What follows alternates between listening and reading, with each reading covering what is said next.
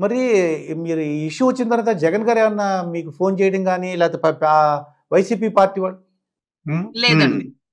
శ్రీను గారితో. మాట్లాడడం జరిగింది. శ్రీను గారు వాళ్ళు మాట్లాడడం జరిగింది కానీ నేనైతే ఏం మాట్లాడలేదు.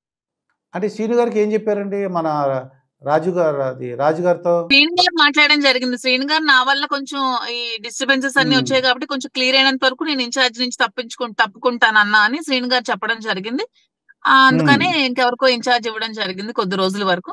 తర్వాత మళ్ళీ. శ్రీను గారు ఇన్ఛార్జ్గా ఉంటారు. శ్రీను గారే రాజకీయం చేస్తారు. శ్రీను గారే మళ్ళీ ఎమ్మెల్యేగా ఉంటారు. శ్రీను గారే మళ్ళీ ఎలక్షన్లో పాల్గొంటారు అన్న నమ్మకం అందరికీ ఉంది. ఓకే ఓకే మరి రాజకీయంగా ఏ స్టెప్ తీసుకు ఇప్పుడు? మరి రాజకీయంగా మీకు ఏ భవిష్యత్తు మినిస్టర్ గారు కావాలని అడిగారు.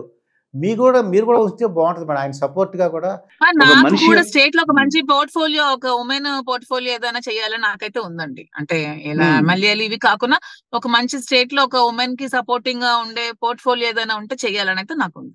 ఖచ్చితంగా. నేను సరదాగా అడుగుతున్నాను. ఒకవేళ ఆయనకి ఇంకొక అమ్మాయి నచ్చింది అనుకోండి. ప్రేమించాలి అని ఊరికి సరదాగా అడుగుతున్నాను. అసలు అంటే మీ మనస్తత్వం ఐఏఎస్లో ఎగ్జామ్స్ జరిగినప్పుడు ఎలాంటి ప్రశ్నలు అడుగుతారండి? ఐఏఎస్ ఐపీఎస్లో? మీ మీద ఒక ఆరు నెలలు లేకపోతే వన్ ఇయర్ పోయిన తర్వాత ఇంకో అమ్మాయితో అనుకోండి. అతనికి అతనికి ఇంకా నచ్చి నచ్చి ఇంకొక అమ్మాయి నచ్చుతుందని నేను ఎప్పటికీ మరి అనుకోవట్లేదు. అనుకోవట్లేదు. అంటే ఒక్కసారి మాధురిని ఆ మాధుర్యం చూసిన తర్వాత. ఇప్పుడు ఉగాది పచ్చడి ఉంటే అన్ని టేస్ట్లు అందులో ఉంటే ఇంకో టేస్ట్ కోసం చూడాల్సిన అవసరం ఏముంటుంది చెప్పండి. సో అతను ఇంకొక అమ్మాయి వైపు ఎప్పటికీ చూడరు ఇంకా. చూడరు ఇంకా. ఆ నమ్మకం మీకు ఉంది. Hundred percent. అంటే అన్ని అన్ని రుచులు చూపించేస్తున్నారు ఆయనకి. అంతే హండ్రెడ్ పర్సెంట్ అతను ఇంకొక ఇంకొక అమ్మాయిని చూడరు. సరే ఇంకా. రాజకీయాలు ప్రజలు ఇదే జీవితం గానీ అమ్మాయిలు ఆ జీవితం అనేది ఇంకా అతని లైఫ్లో ఇంకొక చాప్టర్ మరి ఉండదు.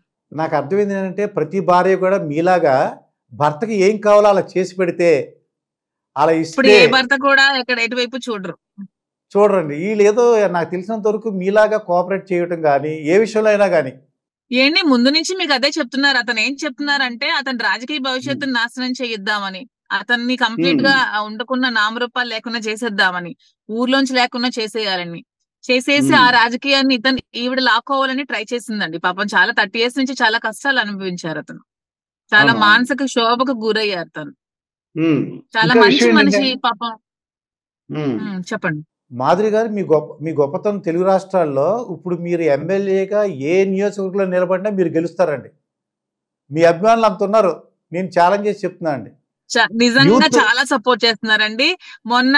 వాణ్ణి ఇంటికి వచ్చి అటాక్ చేసి పవర్ అవి కట్ చేసినప్పుడు కూడా చాలా మంది. ఫోన్ చేశారు మేము వస్తాము మేము అక్కడికి వచ్చి నిలబడతాము మీకు మీరు. ఇప్పుడు ఫోన్ చేయండి మేము వస్తాం కడప నుంచి కూడా మేము వస్తాము మేము దగ్గర ఉంటాము అక్క మీతో ఉంటాము మీకు సపోర్ట్ చేస్తాము మీకు ఏ అవసరం ఉన్నా చెప్పండి అని చాలా ఫోన్స్ చేశారండి నిజంగా చాలా హ్యాపీగా. ఫీల్ అవుతున్నాను నిజంగా మీకు ఏదన్నా నిజంగానే రాజకీయ ఛాన్స్ ఏమైనా వచ్చింది అనుకోండి ఏదైనా పార్టీ వాళ్ళు నాకు రాజకీయ ఛాన్స్ అలాగే ఏమి లేదు కానీ శ్రీనివాస్ గారికి. రాజకీయాల్లో సపోర్ట్ చేస్తూ శ్రీనివాస్ గారిని మినిస్టర్గా చూడాలని నా కోరిక శ్రీనివాస్ గారిని మినిస్టర్. గా. చూడాలనేది నా డ్రీమ్ అతను. ఎమ్మెల్సీ గా చేశారు మినిస్టర్గా. చేయాలి మినిస్టర్గా చూడాలనేది నా డ్రీమ్ అంతేగాని నాకు ఎమ్మెల్యే అయిపోవాలి మినిస్టర్ అవ్వాలి నాకు అలాంటి ఆలోచన లేదు నాకు మూవీస్ ఇంట్రెస్ట్ ఈ ఫీల్డ్ నాకు ఇంట్రెస్ట్ శ్రీన్గా Hmm. శ్రీనివాస్ గారిని పొలిటికల్గా సపోర్ట్ చేస్తూ శ్రీనివాస్ గారిని ఒక మంచి మినిస్టర్గా టక్కల్లి చూడాలని నా కోరిక నా డ్రీమ్ అది.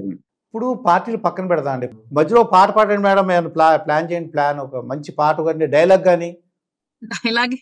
డైలాగ్స్ ఏమీ లేవండి డైలాగ్ అంటే సీటు గారు భోజనం చేయక మీ మీద అలిగారు అనుకోండి ఆ కొద్దిగా బతి బతిలన్నట్టుగా అడగాలి నేను చెప్పిన ఇందాక వాసు అని అలాగా మీరు ఏదైనా చెప్పండి సరదా శ్రీనివాస్ గారు అంటే శ్రీనివాస్ గారు ఎప్పుడు అలగరు. శ్రీనివాస్ గారు ఎప్పుడు అలగరు. కాదండి ఇది యాక్షన్. సినిమాలో హీరో మీ ఇష్టం అని అన్నారు కాబట్టి యాక్షన్ ఊరినే మీకు డైలాగ్ ఇస్తాను డైరెక్టర్ నేను. డైరెక్టర్ గారు చెప్పినట్టు మాట వినాలి హీరోయిన్ గారు. అయితే నేను డైలాగ్ ఇస్తాను మేడం.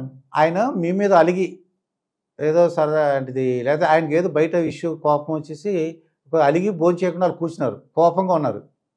మీరు చెప్పాలన్నమాట భోజనం చేయమని ఇందాక చెప్పాను కదా వాసు భోంచే వాసు అనే టైపులో మా గుంటూరు ఒక ఆవిడ చెప్పిందని చెప్పాను కదా. అలాగా? మా రా మా శ్రీనివాస్ గారు అయితే మీరు ఏమంటున్నారు? రాజా అంటున్నారా? రాజా. రాజా. భోంచే అది ఎలా చెప్తారు ఆ డైలాగ్ని?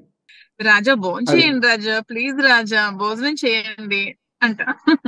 అప్పుడు ఆయన వద్దు నాకు వద్దు ఇలా అంటున్నారు నాకు వద్దు అది కాదండి. అలా చెప్తారు కదా. అది ఆ. కాదు రాజా టైం కి తినకపోతే హెల్త్ పాడైపోతుంది కదా ప్లీజ్ మీరు భోజనం చేయాల్సిందే ఖచ్చితంగా అని చెప్తాం.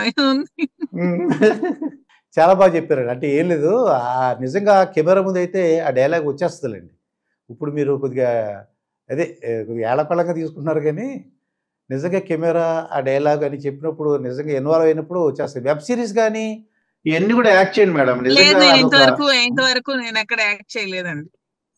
మూవీ తీసాను అంతే ప్రొడ్యూస్ చేశాను అంతే ఇప్పుడు మా దువ్వాడ శ్రీనివాస్ గారు తప్ప ఇంకెవరన్నా మీరు చాలా అందంగా ఉన్నారు. మీ హస్బెండ్ కూడా అనుంటారు అండి పెళ్ళైన మొదలు అనుంటారు ఆయన కాక ఇంకెవరన్నా మీ కాలేజెస్ టైంలో అన్నారండి ఎవరన్నా? మీ స్టూడెంట్ అంటే క్లాస్మేట్స్ వాళ్ళందరూ ఉంటారు కదా.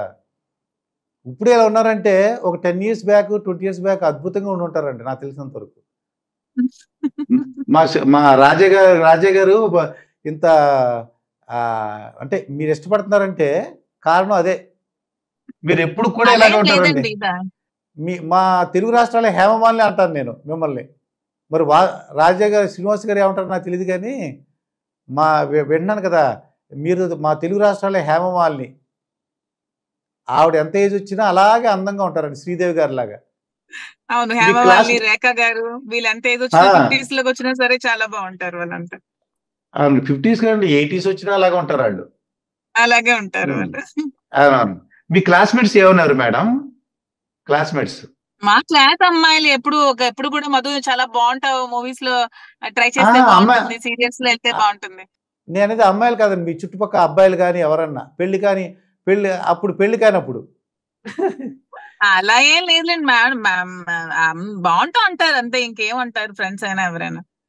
మీరు ముగ్గురు పిల్లలంటే ఎవ్వరు నమ్మరండి. అనవసరంగా పిల్లలు అని చెప్పేశారు మాకు ఎవరికి. మీ సీక్రెట్లు పర్సనల్ చెప్పకుండా. అనవసరంగా అనవసరంగా ఏంటి నేను చాలా ఫెయిర్గా చాలా ఫ్రాంక్గా ఉంటాను. నాకు ముగ్గురు పాపలు ముగ్గురు పాపలు అని చెప్పాను అంతే.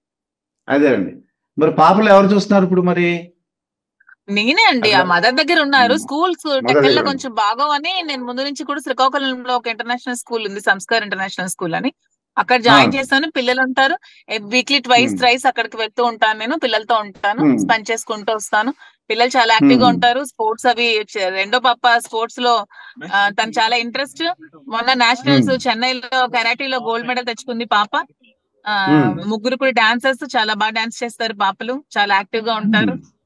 ఉమ్. పిల్లలు నేనే చూసుకుంటూ ఉంటాను. ఇంకొక పాట పాడండి మేడం. ఏదైనా పాటలు ఒకసారి గురు పాటలు పాటలు చెప్పమంటున్నారు. పాటలు పాటలు ఎప్పుడైనా మళ్ళీ మీరు మా ఊరు వచ్చినప్పుడు ఇంటర్వ్యూ చేసి పాడదాం మళ్ళీ. అక్కడ డ్యాన్స్ చేయాలి. అంటే ఇప్పుడు కారులో కూర్చున్నారు డ్యాన్స్ కుదరదు అనుకోండి. నీ కానీ డ్యాన్స్లో చాలా బాగుంటాయండి. మీ క్లాస్మేట్స్ మన మా డివిడ్ అయిపోయాం. మన క్లాస్మేట్స్ ఎవరైనా ఎవరెవరు పెళ్ళి అవ్వకముందు. లవ్ లెటర్స్ ఎన్ని వచ్చినాయి లవ్ లెటర్స్ ఎన్ని ప్రపోజల్స్ ఎన్ని లవ్ లెటర్స్ వచ్చినాయి మీరు అన్ని మీకు కాంట్రవర్షియల్ క్వశ్చన్స్ అడుగుతున్నారు. ఎవరికైనా. కామన్గా వస్తాయి కదండి చదువుకున్నప్పుడు. ఇప్పుడు మేము చదువుకున్నాం మేము చూసాం కదా మా ఇంటర్మీడియట్లో మా డిగ్రీలో మా క్లాస్మేట్స్ ఏం చేశారు ఎంత అలా ఉండారు అని చూసాం కదా. అందుకు అడుగుతున్నాను. మీరు ఎలా ఉన్నారు? ఆ టైంలో ఎలా ఉన్నారు? అంటే ఇప్పుడంటే సోషల్ మీడియాలో మీరు డ్యాన్స్ చేశారు. అప్పుడు ఏం చేసేవారు? ఎక్కువగా యాక్టివ్గా ఉండేవారా? పెళ్ళి కాకముందు. అప్పుడు నేను కాలేజ్ టైం నుంచి కాలేజ్ టైం నుంచి నేను చాలా యాక్టివ్గా ఉంటానండి. ప్రతి ప్రోగ్రామ్స్లో ప్రతి డాన్స్ ప్రోగ్రామ్స్లో స్కూల్ వేసే డ్రామాస్లో అన్నిట్లో బాగా యాక్టివ్గా పార్టిసిపేట్ చేసేదాన్ని.